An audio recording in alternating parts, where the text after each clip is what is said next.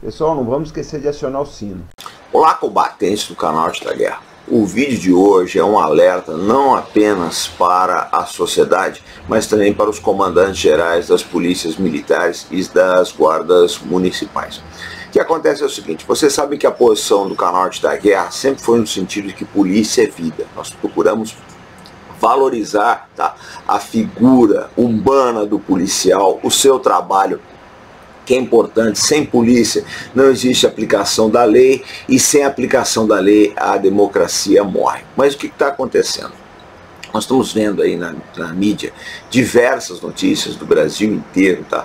Tentando vilanizar a polícia no combate à pandemia, nas ações de combate à pandemia. Mas eu preciso fazer um alerta aos comandantes gerais, né, aos comandantes das polícias militares, no sentido do que está acontecendo no Brasil. Bom, gente, não há a certeza de que trancar as pessoas, fechar o comércio, trancar as pessoas em casa, lockdown, etc., funciona como medida de diminuição dos índices do coronavírus. Mas se adotou esse procedimento. Não, não vamos entrar no mérito aí se é certo ou, ou se é errado. O fato é o seguinte, é um procedimento que ele acaba jogando as pessoas para o desespero. Por quê? Porque elas têm que viver, elas têm que sobreviver. Então, nessa história, muita gente, a pessoa está passando fome ou tem problemas financeiros graves, aí a gente está vendo casos de suicídio. Cara quer fazer o comércio dele e, e a polícia militar, a guarda, a guarda municipal é acionada. Nisso que começa a armadilha que nós vamos citar agora. O que acontece é o seguinte, existe uma intenção deliberada de muita gente aí de vilanizar os órgãos de segurança. Né? Eu já falei aí, esses dias eu fiz vários vídeos, o canal Pátria e Defesa também, dizendo que as Forças Armadas estavam sendo atraídas para uma armadilha. Né? Porque queriam que o exército fosse usado para lockdown. Se o exército fosse usado para isso, ele nunca mais recuperaria né, a sua credibilidade, a sua imagem perante a opinião pública. E as polícias militares, guardas municipais, etc., precisam tomar muito cuidado para não caírem nessa armadilha, porque a ideia, a ideia é exatamente vilanizar as polícias. Nós tínhamos feito um trabalho nos últimos anos aí, tá? De, de, conscientização da sociedade, acho que a imagem melhorou bastante. Essas mentiraiadas que se contam aí, de bala perdida, de polícia assassina, etc.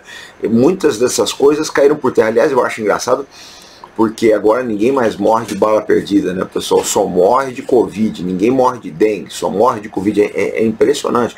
Todas as outras doenças foram resolvidas. Estava conversando com alguns policiais militares aí, eles falaram o seguinte, é, comandante, mas não tem, nós não temos nenhum relato desse tipo de repressão, por exemplo, no estado de São Paulo. Eu acredito nisso, gente, eu acho que a polícia de São Paulo é uma das mais bem preparadas do Brasil, que está do mundo. O problema é que é o seguinte, gente, o que vai contar nessa história não é o que está efetivamente acontecendo, é a narrativa e a percepção da sociedade.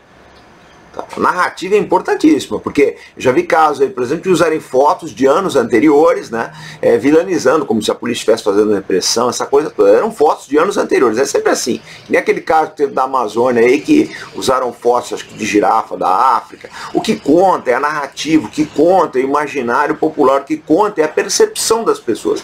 Nesse ponto eu preciso fazer um alerta para a sociedade também, né? nós temos que tomar muito cuidado com as fake news, pessoal. Porque às vezes as pessoas pegam vídeos de de três anos atrás, ou de 10, 5 anos, que quer que seja, fotos antigas aí, e colocam de outras ocorrências, colocam como se fosse, ou até de outros países, a polícia militar ou a guarda municipal fazendo repressão a comerciantes, a ambulantes, a trabalhadores agora na pandemia. A gente precisa tomar muito cuidado com o que compartilha, pessoal. Quando chega uma notícia para mim que eu acho que é fake, eu já dou uma travada nela. Tá? Porque eu não, acho que eu não estou ajudando em nada a sociedade em nada. Tá? Se eu compartilhar esse tipo, mesmo que seja de, de, de, pessoas ou coisas com as quais eu não tenho afinidade, não, não tenho simpatia. Mas eu acho que a gente não, não, vai, não vai fazer um mundo melhor construindo ele em cima de mentiras, pessoal. Então tomem muito cuidado com aquilo que vocês compartilham, tá? Vocês não estão ajudando, não. Então qual é a recomendação que eu faço? Vou fazer algumas recomendações né, para os comandantes gerais. A primeira delas, que eu acho mais importante, é estabeleçam protocolos rigorosos de abordagens desse tipo de ocorrência, visando preservar o direito das pessoas e a sua dignidade. Tá? Então estabeleça o protocolo policial, você vai até esse ponto. Até esse ponto. tudo explicado para a tropa. Emitam circulares, protocolos, procedimentos operacionais padrão para que não haja esse problema. Essa é uma coisa. A outra recomendação é no tocante a relações públicas. Vocês têm que vir a público, as PMs precisam fazer, PMs e guardas municipais, precisam fazer clipes, vídeos, divulgar nas redes sociais o trabalho que está fazer, sendo feito no sentido de ajudar a combater o coronavírus e que não entra, tá? Não entra na repressão à sociedade. Essa é a segunda coisa. A terceira eu acho a mais importante. Chegar nos governadores e prefeitos, quando houver uma ordem, quando houver uma ordem, tá? Controversa, peça por escrito. Peça por escrito, meu amigo. Governador, muito bem, nós vamos cumprir, não tem problema, estamos aqui para cumprir as suas ordens. Mas o senhor, por favor, me dê por escrito. Por que, que eu estou falando tudo isso? Porque eu acho que essa loucura toda, isso aqui está sendo uma loucura, vou ser sincero, é o que eu acho. Acho que ninguém sabe direito o que está fazendo. Daqui a um, uns dois anos, isso vai, tudo vai ser judicializado, meus amigos. Não tenham dúvida disso. Vai ser judicializado. Muita gente vai sentar no banco dos réus. E os nossos políticos, eles são useiros e bezeiros de dizer isso aqui. Olha, não foi isso que eu determinei. Não foi isso que eu mandei. O policial fez porque ele quis. Eu mandei outra coisa. Então, peça por escrito, porque vocês vão ser responsabilizados no futuro. Eu lembro sempre um caso famoso aqui no estado de São Paulo, que é a repressão ah, o motim do presídio do Carandiru nos anos 1990. Depois os políticos tiver, tiraram o corpo fora e a bomba explodiu no colo da Polícia Militar de São Paulo, que estava ali apenas cumprindo o que foi determinado. Então, eu penso da seguinte forma, gente, eu tenho uma admiração, um respeito e um carinho muito grande pelas polícias do meu país. Tá? Polícia é vida, eu sempre falei isso, torna a dizer. Só que a imagem precisa ser preservada. Então, para isso, para isso as, as polícias precisam tomar medidas especiais. Eu acho que as sugestões que nós deixamos aqui são coisas simples, não é nada do outro mundo, são perfeitamente legais, tá?